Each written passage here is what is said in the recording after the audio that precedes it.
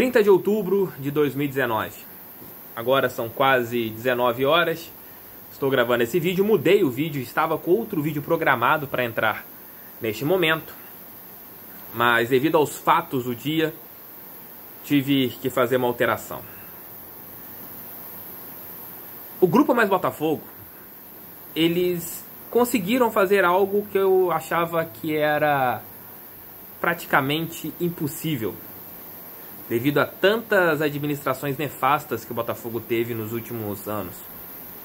Tivemos problemas nos últimos anos, apesar, na minha opinião, ter sido super favorável à administração Bebeto de Freitas, pegando o Botafogo realmente no lixo. O Botafogo estava no lixo em 2002, né, 2002 para 2003. Diferente do que o senhor Carlos Eduardo Pereira propaga que estava entre 2014 e 2015. O buraco em 2003, senhor Carlos Eduardo Pereira e grupo mais Botafogo, que adora se vangloriar pelo que fez com o Botafogo, pelo que pegaram o Botafogo ali, trouxemos o Botafogo para a Série A, não sei o quê. Em 2003, com Bebeto de Freitas, as coisas estavam muito piores.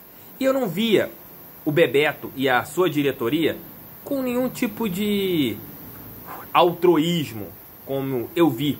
Inclusive, o ex-vice-presidente de comunicação, de marketing, né, que era o Padilha, após ganhar uma taça Guanabara, aquela que ganhou lá né, no estádio Newton Santos, que os jogadores viram o joguinho pela televisão, mandou áudios em grupos WhatsApp aí, nós somos pica, falem dos amadores, como se aquilo tivesse sido um grande feito. E não foi. Mas até esqueci, galera. Deixa um like se você gostar aqui do vídeo, se você gostar do meu canal. Deixa o dislike se você não gostar do meu vídeo. Se você não for inscrito, inscreva-se no meu canal. É muito importante que mais pessoas conheçam o meu trabalho. Compartilhe esse vídeo aí no seu grupo do WhatsApp favorito. Porque hoje é um desabafo. Um desabafo com tudo que eu tenho visto em relação ao Botafogo e o que esse nefasto grupo chamado Mais Botafogo está fazendo. Não terá edição, será feito e postado. Porque senão ia ficar muito tarde para colocar esse vídeo no ar. Hoje o capítulo vôlei, que é algo que todos sabiam, que vôlei e basquete, neste atual momento, seria complicadíssimo, geraria dívidas para o Botafogo visando o ano de 2020. E isso complica qualquer tipo ali de situação, é, de business plan, de montagem de perfis, etc, etc, etc. Todo mundo. Eu já cansei de fazer vários vídeos falando sobre isso. Que não era o momento, que era legal pegar uma licença, voltar ano que vem, com o Botafogo Futebol e Regatas se reajustando, começando a querer viver com as próprias pernas, com a possibilidade das CNDs adquiridas, você conseguir patrocínios incentivados. Tudo eu tô literalmente careca de falar isso aqui no meu canal. Mas pela arrogância e prepotência de vários membros do grupo Mais Botafogo, eles bateram no peito e falaram: "Vamos ter tudo: basquete, vôlei". Montaram. E eles foram alertados desde o começo. A própria Ernest Young alertou ao Botafogo em relação a isso naquele estudo dos irmãos Moreira Salles, naquele estudo lá de trás, foi encomendado pelos irmãos. E fora outras pessoas que alertavam o Botafogo de que não era momento de apostar em esportes olímpicos. Todo mundo sabia disso. Todo mundo sabia disso. Todo mundo. E contra todas essas, todas essas situações de alertas de e outros, eles mantiveram essa prepotência e essa arrogância. Quem é sócio proprietário do Botafogo vai saber muito bem do que eu estou falando. A sede do Glorioso está um lixo. Você tem nada acontecendo dentro da sede do Botafogo.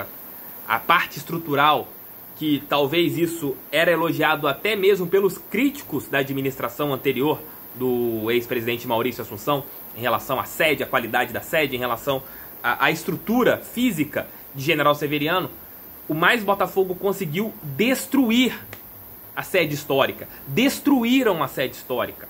Além dos funcionários estarem com dois meses de salários atrasados praticamente. No, nesse mês a gente completará o segundo mês, está com um mês e meio de salários atrasados. Fizemos vaquinha para comprar alimentos para os torcedores. Daqui a pouco nós teremos que fazer outra vaquinha. Porque essa passou o tempo. Você hoje teve, hoje não exatamente, mas a informação chegou para mim hoje, o, alguns funcionários do plano Sou Botafogo que trabalham ali no estádio Newton Santos pediram demissão em conjunto. Restou apenas um rapaz, ou moça, agora não sei se é um rapaz ou se é uma moça. Restou um funcionário apenas. Um. Quem iria querer trabalhar de graça?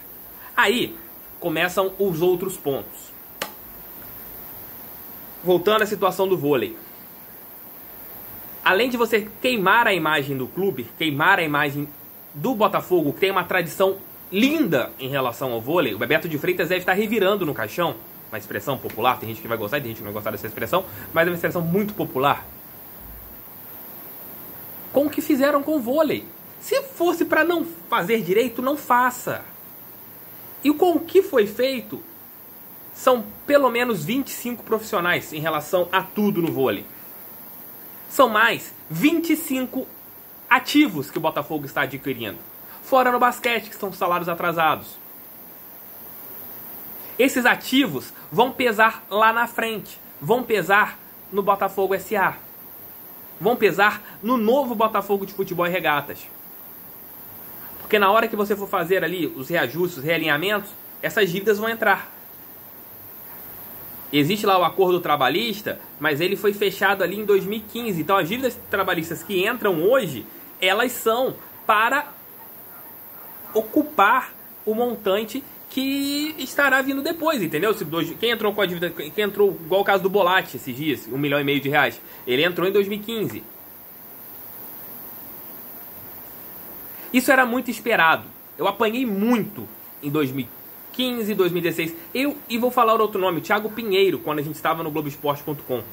Falávamos direto, direto, sobre alguns problemas em relação ao grupo político mais Botafogo. Mas como os resultados de campo, eles apagam tudo, é o que eu falo muito em relação ao voltaço aqui na minha região, o resultado de campo apaga a administração nefasta que tem no Volta Redonda Futebol Clube. E no Botafogo era a mesma coisa. Os resultados de campo, eles é, é, é, atrapalhavam que o torcedor, no seu modo geral, ele enxergasse algumas nuances que estavam acontecendo.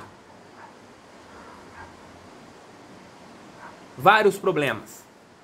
Como falta de captação de recursos, você vivia. Em 2015, o Botafogo viveu com dinheiro de 2014 que estava bloqueado da administração do Maurício Assunção. Muitos torcedores não sabem disso. Botafogo viveu em 2015 com recursos de 2014. De venda de jogadores, patrocínio. Igual o Botafogo tem pago parcelas do seu ato graças ao dinheiro da Viton 44, lá 21 milhões de reais. Me falem, qual patrocínio essa administração do Grupo Mais Botafogo conseguiu, a não ser o da Caixa Econômica Federal? Qual? Qual? O mais Botafogo. Não adianta, Carlos Eduardo Pereira, você tirar o seu corpo fora, falar que você não faz parte do grupo político. Você faz parte sim. Você faz parte sim. Você que colocou o Nelson Mufarrege, você fez parte. Ah, não mando mais. Você faz. É culpado sim. O seu grupo, a sua, a sua administração não foi capaz de conseguir recursos próprios. Ah, o mercado não estava legal, não estava positivo, não sei o que, não sei o que. Estava para pessoas competentes o mercado nunca pode ser considerado negativo. Se a pessoa tem a competência na captação de recursos, você consegue captar sim, e vocês foram incapazes de fazer isso. Vocês destruíram o Botafogo. Pra gente, estamos quase chegando aqui na reta final do vídeo, só para esse meu desabafo, peço desculpa, porque eu preciso desabafar também como torcedor botafoguense, como vocês são, eu também sou.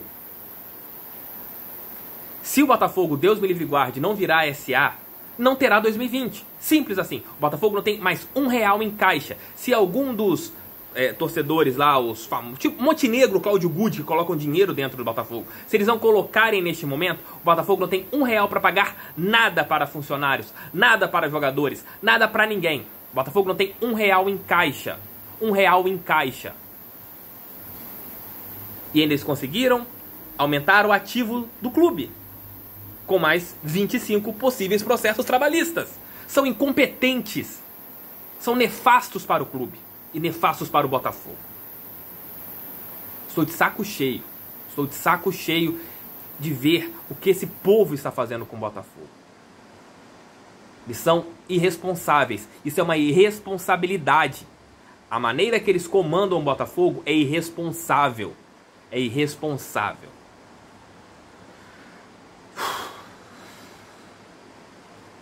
Peço que se você chegou até aqui, deixe like, inscreva-se no canal, compartilhe esse vídeo no seu grupo do WhatsApp favorito. É muito importante que mais pessoas conheçam o meu canal. Peço desculpas em relação ao meu desabafo, mas eu precisava desabafar para vocês. Tamo junto, aquele abraço. Amanhã mais vídeos aqui no canal TF. Fui, abraço.